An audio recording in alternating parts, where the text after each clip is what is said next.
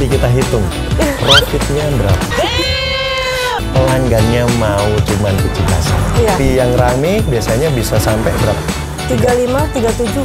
35 sampai 37 lot sehari. Tinggal kalikan aja. Cring, cring, cring.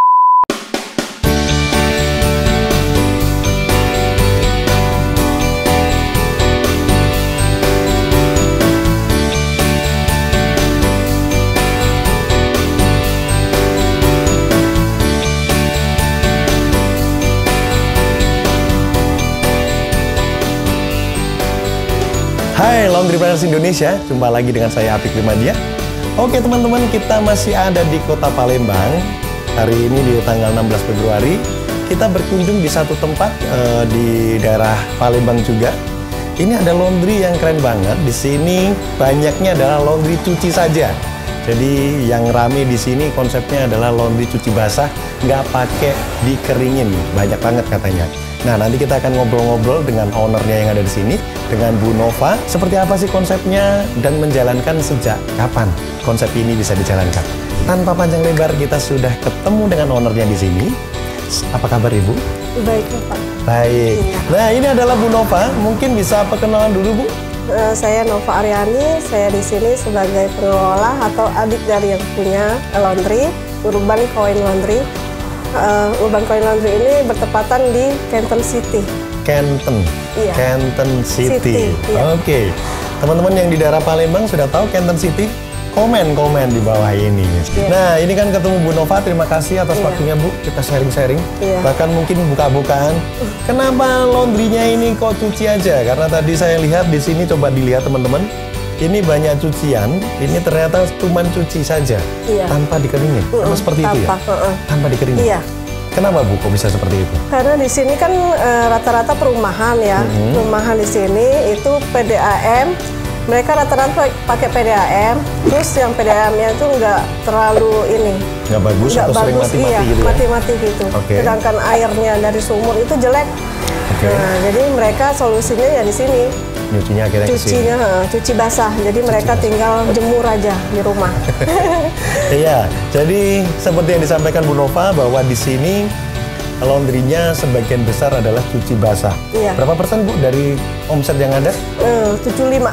Sekitar 75 Iya. persen. Wih, lebih dari setengah cucian atau omset yang ada di sini rata-rata adalah cuci basah. Basah. Jadi nggak perlu dikeringkan. Heeh. Jadi mungkin kalau kita hitung-hitung nanti kita akan nanya omsetnya berapa. Memang omsetnya nggak kelihatan gede, tapi secara profit gede banget. Boleh ya buka-buka nanti ya Bu? Iya, boleh. Oke kita lihat di sini cuciannya adalah seperti ini. Ini nah ini ini basah ini teman-teman. Uh berat sekali. Dan per lot ini adalah 7 kilo ya maksimal. Iya, 7 Nol- kilo. 0 sampai 7 kilo. Uh-uh. Jadi kalau orang bawa cucian misalnya 8 kilo, 9 kilo, dianggapnya 2 lot ya Dua lot. dianggap dua lot. Jadi ke- seperti ini, nanti mereka akan jemur di rumah atau setrika di rumah. Tapi ada konsep di mana nyuci di sini, jemurnya di rumah, nyetrikanya di sini lagi. Iya, Bener ya? ada. Ada seperti itu. Biasanya kan pengen ngirit, udahlah nggak usah ngeringin di sini dan sebagainya. Iya. Padahal seperti kita lihat di sini teman-teman, ini kita bisa lihat di sini sambil kita lihat ini ini ada harganya. Nah, di sini Urban Coin Laundry. Nah, ini ada harganya. Cuci basah itu Rp12.000 rupiah. Ini 12.000 0 sampai 7 kilo. Jadi Iya. kalau cuciannya masih di bawah 7 kilo, harganya 12.000. Kalau kalau mama cuciannya 8 kilo, 9 kilo dianggapnya dua lot. Itu cara mencuci konsep lot ya. Iya. Nggak ada konsep kiloan bu, ditimbang sekilo, dua kilo gitu nggak ada. Enggak, enggak ada. Tidak ada. Dan pelanggan tahu seperti itu. Tahu. Jadi di sini nggak ada cuci boneka, sepatu gitu. Ada. Oh, ada Eh, juga? ke- iya, boneka ada, tapi sepatu belum. Sepatu belum. Heeh. Oke. Nah, sejak kapan Bu eh, konsep laundry lot itu dijalankan? Apakah sejak pertama buka atau gimana? Sejak pertama buka. Sejak pertama Mm-mm. buka sudah seperti itu. Iya. Awalnya itu 5 kilo, ini kan muatnya 5 kilo ya. Oke, ini mesin ini. Heeh, Oke. Ya. muatnya 5 kilo, tapi pelanggan itu banyak yang protes kedikitan Pak, 5 kilo itu. Heeh. Dulu harganya 10.000 Per per 5 kilo. per 5 kilo Heeh, 10 ribu. heeh. Nyuci aja. Iya, cuci aja. Oke. Tapi mereka pikir 5 kilo itu kedikitan. Terlalu sedikit. Heeh, jadi tambah lagi 2 kilo, jadi dimaksimalkan 7 kilo. Iya. Nah, terus berhubung gas naik, Iya. kita naikin lagi jadi harga 12.000. 12.000. Nah, kayak gitu. Pelanggan nggak ada masalah. Nggak ada. Padahal nyuci aja kan nggak pakai gas, Bu. Nah, iya. Untuk menutupi yang Aduh, cuci kering. Yang cuci Ah, ah. kering. Oke, teman-teman, kita lihat di sini apa yang disampaikan oleh Bu Nova tadi bahwa sebelumnya harganya 10.000 untuk per 5 kilo, terus akhirnya banyak yang protes, per 7 kilo dong, akhirnya tetap per 7 kilo, Iya. akhirnya naik harga Rp2.000 menjadi 12.000 per lot.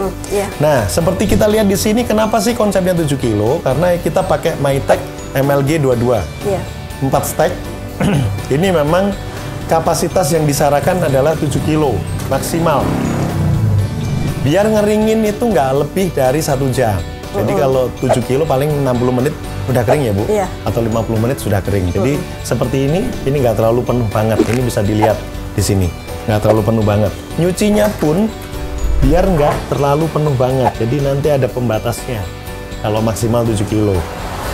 Nah, ini adalah mesin full komersial dari Mytech, tipenya MLG 22. Jadi, seperti yang di video YouTube sebelumnya, kita itu ada mesin uh, home appliance, ada mesin yang komersial, ada yang full komersial. Jadi atas bawah ini komersial. Nah, Urban Coin Laundry yang ada di Canton ini, ini juga full komersial. Iya. Dari 2019 ya? Iya. Sudah buka Juli. dan langsung ramai seperti ini Iya. pas buka. Heeh. Jadi nggak perlu ngedukasi lagi. Enggak. Terus dulu promo awalnya seperti apa, Bu Nova? Itu waktu pertama kali berapa ya? Harganya murah dulu ya. Oh, 7.000. dimurahin dulu Ah, ah. biar orang nyoba. Heeh. Oke. Jadi pas sudah jalan, jadi masuk ke harga 10.000. 10.000 bertahan sampai berapa lama, Bu? Harga 10.000 menjadi 12.000 itu. 12.000 itu baru ya Baru tahun ini ya? kemarin. Oh, tahun Heeh. kemarin Waktu gas naik. 2022 itu ya. Heeh. Gas Iya. naik. Iya. Mulai itu ya. Iya. Jadi gas di sini berapa harganya? 12 kilo? 220. 220 ribu. Jadi teman-teman kemarin kan saya ke Papua juga, gas itu pernah menyentuh 300 sampai 350 ribu Bu, per 12 kilo. Hmm, ya. Jadi beruntunglah teman-teman kalau masih harganya 200 ribu. Iya. Oke, terus kita bisa ngelihat jam kerja jam berapa lama Bu di sini? Hmm, dari jam 8 pagi sampai, Sampai- jam 8 malam. Sampai jam 8 malam. Iya. Pegawai berapa? Dua. Pegawai cukup dua teman-teman. Jadi jam 8 pagi sampai jam 8 malam, pegawai cukup dua. Iya. Dan kayaknya santai-santai aja, adem-adem aja ini sudah selesai semua. Cucian banyak segini, sehari bisa dapat berapa lot bu di sini rata-rata? minimal 20. 20 lot. lot. Heeh. Paling minimal. Paling rame hari apa bu biasanya? Sabtu, Sabtu. kalau enggak hari kerja, Senin, Senin itu rame juga? iya. heeh. Oke. hari- Tergantung ini. Kamis, ini juga termasuk. Oh nggak nggak tentu ya, Iya. nggak tentu rame. Karena setahu kita biasanya weekend itu rame. Jadi ini ternyata nggak harus Sabtu. Iya. Hari Senin pun, hari Kamis seperti ini Iya. juga rame. Atau mungkin gara-gara karena kita syuting ya di sini. rame di sini. Enggak, enggak, kan enggak ya? Oh enggak ya, enggak dikasih tahu. Dan ini dadakan teman-teman. Dadakan. Iya. Tadi dibantu oleh Mbak Widya kontak-kontak. Bisa. Oh ya sudah boleh. Mohon izin ya Bu Fani. Karena Bu Fani lagi Bu heeh. Eh, Bu Feni ya? Iya. Oh Bu Feni, mohon maaf Bu Feni karena nggak di sini. Iya, Jadi ternyata di- didampingin oleh Bu Nova. iya. Oke, pemiliknya dokter di sini. iya. Iya. Bu Feni dokter. Itu kakaknya, kakaknya, Kakaknya. Bu, Bu Nova ya. Iya, Terima kasih, keren sekali. Ada berapa cabang Bu laundry ini? baru satu. Baru satu ini Iya. aja dari 2019. Iya.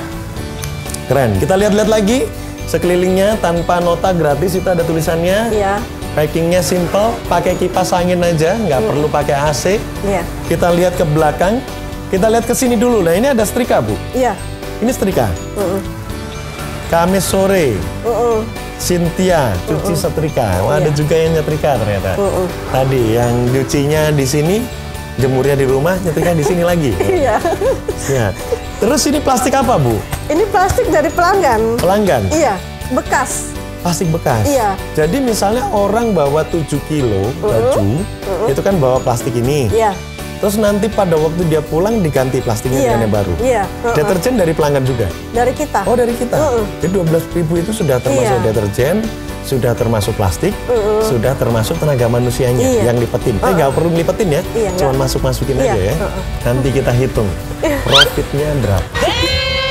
Oke kita lihat ke belakang sini. Ini adalah instalasinya. Iya. Kita lihat di sini instalasinya pakai gas belum central gas, jadi gasnya masih di paralel atau di seri ya, musik seperti ini langsung dimasukkan ke tabung gas. Jadi ada empat dryer dimasukkan di dalam satu gas ini. Terus ini coba kita lihat, nggak perlu panas-panasan, ada tukang setrika. Adem ya Bu Nafa ya, Iya. adem di sini. Kita nggak berkeringat. Biasanya kalau laundry-laundry kiloan atau laundry express yang banyak setrikanya, ini kegiatannya pasti banyak. Ini nggak perlu. Nggak perlu yang aneh-aneh, simple. Ya. Jadi cukup lantai satu aja. Jadi gini teman-teman, kalau memang konsepnya cuci lipat atau konsepnya cuma cuci aja tanpa ngeringin, ruangan cuma cukup di bawah aja. Ruangan setrika ada di belakang sini, tapi setrikanya jarang karena ngelipetinya langsung di depan. Kita lihat di depan. Yes, tadi kita sudah dengar sendiri beberapa pelanggan yang datang ke sini ada yang ngambil, ada yang naruh cucian.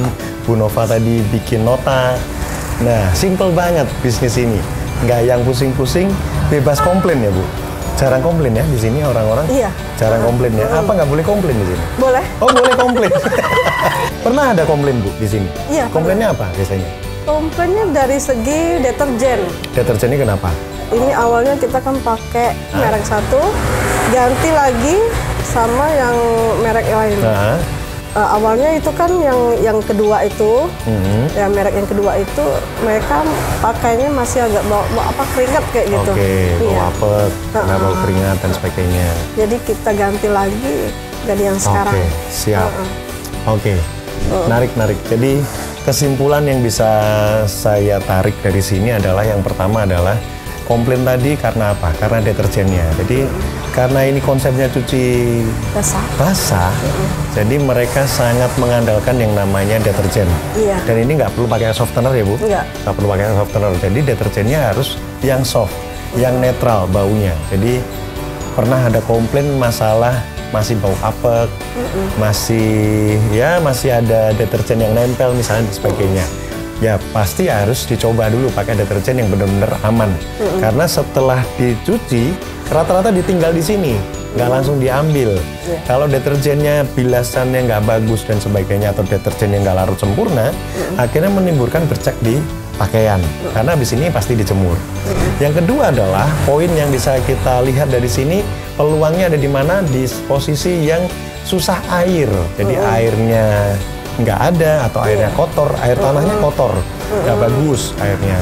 Terus kadang pumpnya mati. Iya. Nah, kalau pump PDAM biasanya ada jam-jam tertentu mati atau eh, langka lah misalnya seperti itu. Akhirnya laundry seperti ini dicari. Dan yang ketiga, panas mataharinya terik banget di sini. Kalau masih banyak hujan, kayaknya mereka nggak mau deh cuci cuci basah aja, Iya. pasti sekalian ngeringin. Tapi karena di Palembang ini, ini panas teriknya luar biasa, mereka jemur dulu di rumah. Tapi kalau males nyetrika, dia pasti balik ke sini. Jadi proses yang kita lakukan sebenarnya ada cuci basah sama yang namanya setrika saja. Tapi bisa juga kita tawarkan kalau memang omset pengen dinaikkan ya cuci lipat aja. Sesimpel itu karena lipat-lipat bisa di sini. Tapi ternyata 75% pelanggannya mau cuman cuci basah. Iya. Oh, keren. Luar biasa. Teman-teman bisa hitung sendiri kalau per hari kurang paling jelek adalah 20 lot. Iya. Yang hari yang rame biasanya bisa sampai berapa? 35, 37. 35 sampai 37 lot sehari. Tinggal kalikan aja. Tring, tring, tring, tring. Pegawai cukup dua, sama pengelola Bu Nova satu. Hitung aja teman-teman, sesimpel ini bisnis ini. Jadi eh, kita bisa melihat di sini bahwa bisnis cuci basah sangat berkembang di market yang sesuai. Oke, Iya. gitu ya, Bu Nova. Kalau boleh tahu ini eh, sewa tempat ya, Bu? Enggak, Atau milik punya sendiri? sendiri. Oh, punya sendiri. Jadi kadang kalau punya sendiri kadang nggak mikir udahlah sewa tempat nggak perlu lagi deh kayak gitu. Iya. Oke, terima kasih banyak Bu Nova atas Iya. waktunya, sharing-sharingnya. Kami boleh buka-bukaan di sini. Iya. Mudah-mudahan semakin berkembang Ya, amin. pelayanan kepada pelanggan lebih baik lagi. Iya. Sem- Setelah nonton ini semoga banyak pelanggan yang datang ke Urban Laundry. Iya, Di mana ini? Canton. Canton City. Canton City. Iya. Oke, terima kasih teman-teman yang sudah nonton. Semoga dapat inspirasi, semoga dapat insight dari bisnis laundry cuci basah ini. Saya Apik Primadia undur diri. Dan saya Nova Aryani. Sampai jumpa lagi. Terima kasih.